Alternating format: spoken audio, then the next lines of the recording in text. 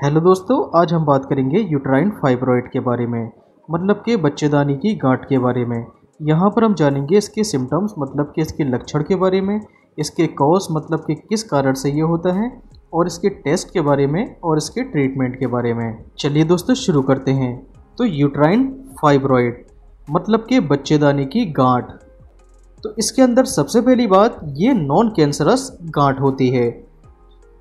और ये बच्चेदानी मतलब कि यूट्रस की मायोमेट्रियम और फाइब्रॉइड टिश्यू के कॉम्बिनेशन से बनती है। तो यूट्रस की जो मसल वाली लेयर होती है, जिसको हम मायोमेट्रियम बोलते हैं, मायोमेट्रियम की प्रोलिफ्रेशन से ये गांठ बन जाती हैं।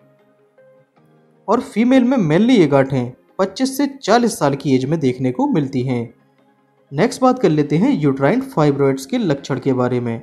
तो ऐसी महिला, जिसके यूट्रस में गांठ है उसमें क्या क्या लक्षण देखने को मिल सकते हैं?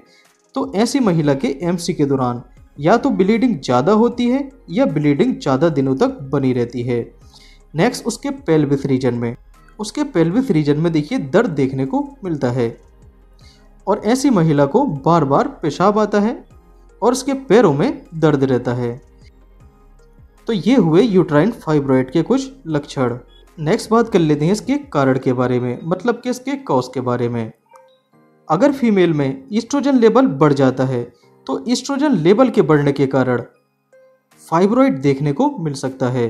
तो मेनली देखिए फाइब्रॉइड के जो चांस होते हैं, वो 20 साल से 45 साल की एज तक बने रहते हैं। क्योंकि देखिए, इस एज में ईस्ट्रोजन का जो लेवल होता है, वो बढ़ता जाता है। और जैसे ही लगभग देखिए मीनोपॉज आ जाता है मतलब कि एमसी बंद हो जाती है। उसके बाद ईस्ट्रोजन का लेवल देखिए घटने लगता है। अब जैसे ही देखिए ईस्ट्रोजन का लेवल घटेगा तो फाइब्रॉइड होने के चांसेस घट जाते हैं। इसका नेक्स्ट कारण हो सकता है ओबेसिटी मतलब कि मोटापा बढ़ना।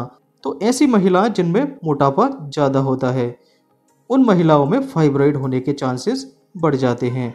और ऐसी महिलाएँ जो लंबे समय से कॉन्ट्रासेप्टिव पिल्स मतलब कि गर्भ निरोधक गोलियों का सेवन करती हैं तो ऐसी फीमेल्स में भी फाइब्रॉइड होने के चांस बढ़ जाते हैं।